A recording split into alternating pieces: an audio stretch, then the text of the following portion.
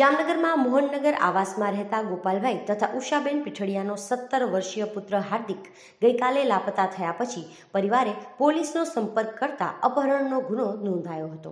દરમિયાન આજે જામનગર કાલાવડ હાઈવે પર જામનગર નજીકના સુવરડા ગામેથી એક તરુણનો આંશિક સળગાવેલો મૃતદેહ મળતા પોલીસ દોડી ગઈ હતી.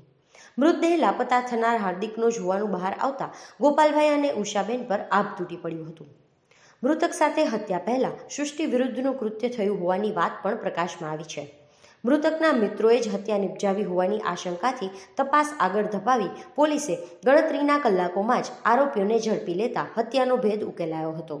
આ સમગ્ર ઘટનાક્રમ શહેરમાં ચર્ચાનું કેન્દ્ર બન્યો છે. સવારે નિશાળ અહીંથી ગયો. ગેઠુથી આવાસમાંથી હાલીને ગયો પછી રસ્તા, રોડ અહીંયા ગેટની બાયણે નીકળ્યો ને તો દોસ્તાર એને લઈ ગયા. શુભમ પરમાર છે એ બે છોકરા. પછી એને ક્યાં મૂકી આવ્યાની ખબર જ ન પડી. અમને એમ કે નિશાળે ગયો છે. બે વાગ્યા સુધી, દોઢ વાગ્યા સુધી રાહ જોઈ, દોઢ વાગે આવે કરે પછી પોણા બે થયા ને લાન પપ્પા ગોતવા ગયા નિશાળે. તો કે બાર વાગે આખર તારીખ છે ને ત્યારે બાર વાગે છૂટી ગયા હોય છોકરાને. હાર્દિક નિશાળે પહોંચ્યો જ નહોતો અને પહોંચવા જ નહોતો દીધો. ગેટની બાયણેથી જ ઉપાડીને વયા ગયા. પછી ક્યાં હંતાળી આવ્યા ને ક્યાં મૂકી આવ્યા ને એ ખબર નથી અમને કઈ. અત્યાર સુધી ખબર ન પડવા દીધી ક્યાં છે એ બે તો હાલતા બાંધતા જ હોય. એ આ એમ કે મને ધરાર બોલાવો ને મારો છોકરો એને બોલાવવા નહોતો માંગતો. તો એને ધમકી ઘડીએ ઘડીએ દેતો તો જ કે હું તું, હું જોઈ લઈશ ને, હું આમ કરીશ ને, તેમ કરીશ ને, એમ કરતો જ હોય. ધમકી તો દેતો જ મારા છોકરાને હાલતા. છોકરીનું નામ લઈ ખીજે મારો છોકરો. છોકરીઓમાં જ ક્યાંય નહોતો એ ચક્કરમાં. નહોતી ઘરમાં અમારે માથાકૂટ કાંઈ. અમે કોઈ દી એને અવળો થયો ઝાપટાઈ મારી નહોતી કઈ. કોઈ વસ્તુની યાદીની હાલ મારા છોકરાનો બીજી રીતે ખોટો ઉપયોગ કરવો છે. સમજ્યા? આ માણસ એવી ટાઈપના છે ને, વિચિત્ર પ્રકારનો છે. એને ખોટી રીતે ઉપયોગ કરવો તો મારા છોકરાએ ના પાડી એટલે એને ગળા પાછો થઈ ગયો.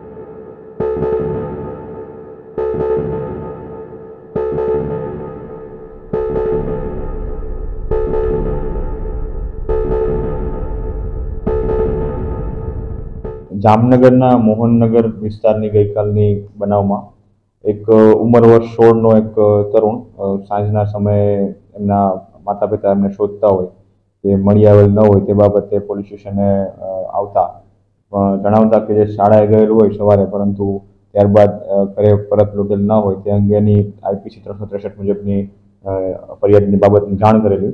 જે અંગે પૂછપરછ કરતા સિટી એ ડિવિઝન પોલીસ સ્ટેશનના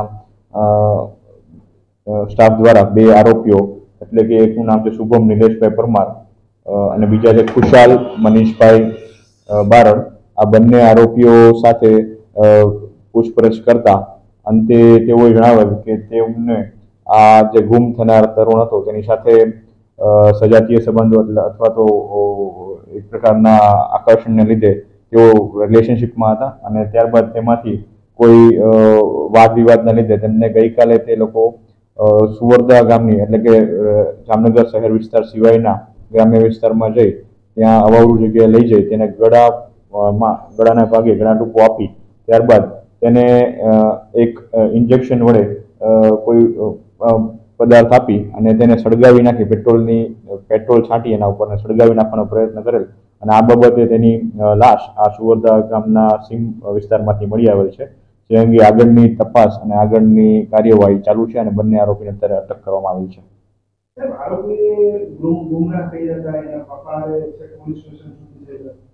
ના હાલ એવી કોઈ વિગત ધ્યાન આવેલ નથી.